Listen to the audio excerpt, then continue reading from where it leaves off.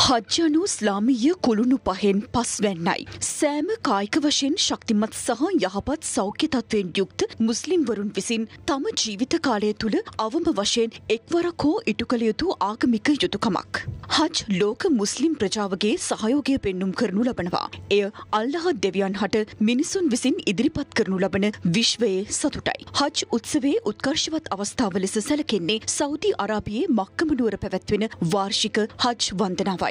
අදට යෙදී ඇති හජ් උත්සවය වෙනුවෙන් ජනාධිපතිවරයා අගමැතිවරයා සහ විපක්ෂනායකවරයා සුභ පැතුම් පනිවිඩ නිකුත් කර තිබෙනවා. ජනාධිපතිවරයා සිය පනිවිඩයෙන් සඳහන් කර ඇත්තේ ආධ්‍යාත්මික සහ ලෞකික වශයෙන් ජයග්‍රහණය ලැබීමට නම් මිනිසා ආත්මාර්ථයෙන් මිදී පරිත්‍යාගෙන් සහ සහජීවනෙන් දිවිගෙවීමට හුරුපුරුදු විය යුතු බවයි. ලොවපුරා විසිරිය සිටින සියලු ස්ලාම් පැතිබුතුන් එකම අරමුණකින් එකම පූජාභූමියකට රැස්ව මනුෂ්‍යත්වය අපේක්ෂාව වන සාමූහිකත්වය අගේ ප්‍රාර්ථනා කිරීම මෙහිදී සිදු කරන බවයි ජනාධිපතිවරයා සිය පනිවිඩේ සඳහන් කර ඇත්තේ.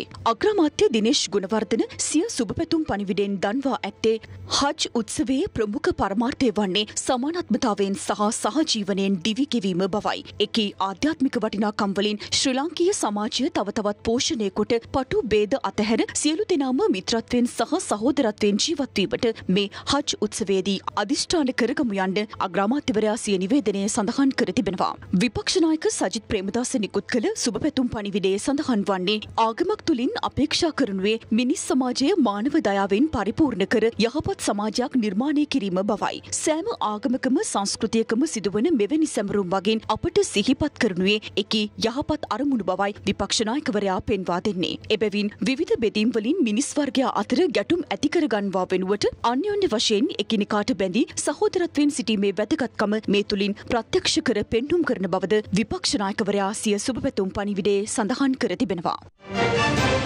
රටේ ලෝකෙ සිදුවන උණුසුම් පුවත් දැනගන්න සියත නිවස් YouTube චැනල් එක අදම සබස්ක්‍රයිබ් කරන්න.